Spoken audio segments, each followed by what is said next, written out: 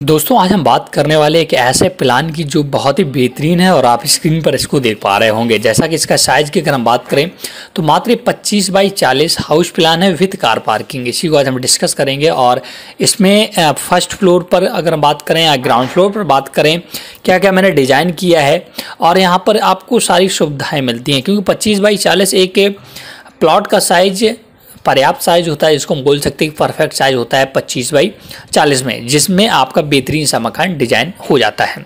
तो उसी को आप ये फ्रंट लुक की बात करें, सामने की लुक की बात करें तो आप ऐसा देख पा रहे होंगे मॉडल को।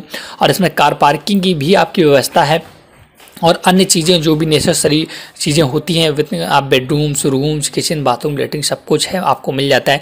इस तो अगर हम सामने की बात करें तो सामने से आप ये मॉडल ऐसा देख पा रहे होगे। थ्री साइड क्लोज्ड हाउस है, दोस्तों, ये देख पा रहे होगे। और टॉप की बात करें तो केवल बाउंड्री और छत मैंने डिज़ाइन किया है। चलो, इससे पहले मैं आपसे गुजारिश ज़रूर करूँगा, अगर आप हमारे चैनल स्मॉल हाउस प्लान पर पहली बार विज़िट कर रहे हैं तो प्लीज़ चैनल को सब्सक्राइब ज़रूर कर लें और साथ साथ बेलाइकन प्रेस करें इससे आने वाले सभी लेटेस्ट अपडेट वीडियो आप लगातार देख सकें। और चलो, इसके पहले हम आपको हमेशा की तरीके से डिस्कस कर लेते हैं इस प्लान को ट्रांसपेरेंट करके। और जैसे आप इस प्लान को ट्रांसपेरेंट करते हैं तो आपको दिवालें इसकी हाइड हो जाती हैं और ऊपर से लेकर नीचे तक आपको सारा चीज़ सेम टू सेम दिखने वाला होता। है देखिएगा, ये आफ्टर ट्रांसपेरेंसी ये मॉडल आपको ऐसा दिख रहा है। तो फ्रंट की बात करें ट्रांसपेरेंसी में तो मॉडल फ्रंट से ऐसा दिखेगा और टॉप की बात करें तो ऐसा दिखने वाला साइड से देखें तो ऐसे देख लें कैसी भी आप देखें तो ट्रांसपेरेंसी में सबको दिखता है।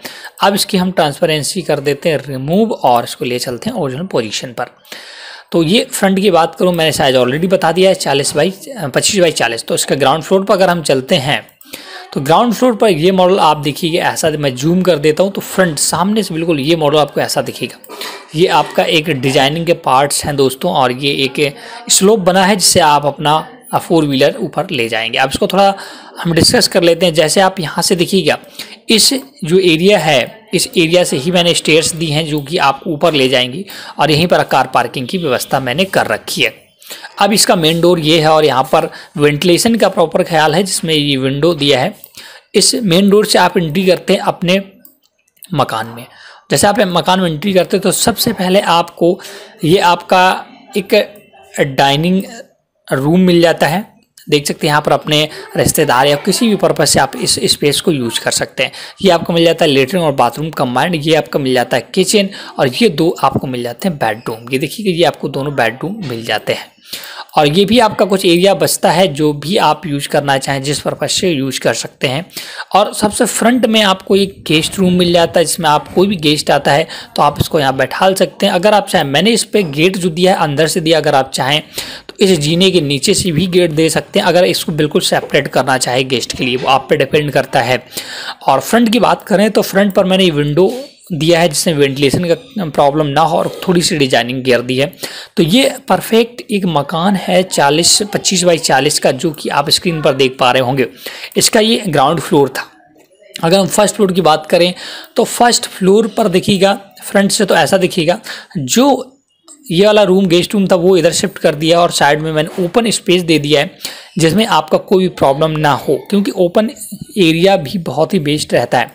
और पीछे वाला सेम टू सेम वही है, वहीं पर आपका लेटरिन बाथरूम किचन बाथरूम और दोनों बेडरूम बस इस वाले रूम में चेंज हो गया है, जो आपका कार पार्किंग का स्पेस था, वहाँ पर रूम डिज़ाइन कर दिया है और ये एक ओपन एरिया बना दिया है। सेम टू सेम ही अगर हम बात करें इस वाले फ्लोर पर तो यहाँ जैसा ग्राउंड फ्लोर था सेम टू सेम वही है।